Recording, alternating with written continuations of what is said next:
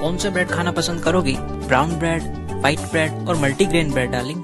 bread चलेगा कैसा भी वाला पर रस्क चलेगा सिर्फ पापे वाला नए साल का स्वाद बढ़ाओ पापे वाला प्रीमियम रस्क खाओ